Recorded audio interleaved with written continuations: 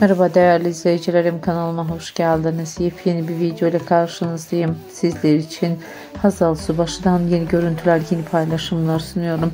Hazal Subaşı eski sevgilisinden ayrıldıktan hemen sonra Oğuzhan Koç'la aşk yaşadığını söyledi.